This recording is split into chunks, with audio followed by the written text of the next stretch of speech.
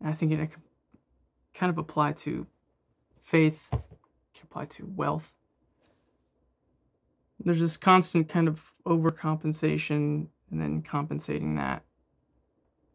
My parents grew up in an environment where there really wasn't any talk of faith or any sort of religion.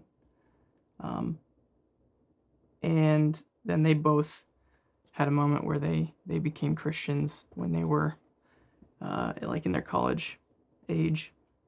And so when they got married and wanted to raise kids, they were like, "We're gonna, you know, we want to raise a family that that you know has faith and believes in believes in God and Mm. instilled that." And what I believe about God and my faith is, I would say, is very different from them. Mm.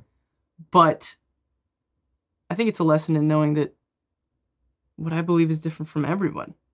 You know, even my my mom and my dad, people who formed me, they should they should in theory have the closest version of it, but it's so different even even that.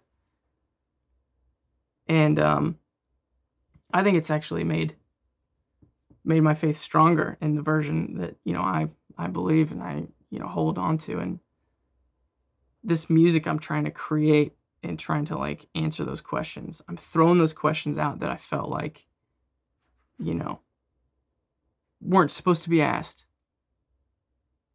But when I ask it in a song, my parents just say that's great. And that that, that, was such a big moment for me. And so yeah, my faith is constantly playing a part in the music that I.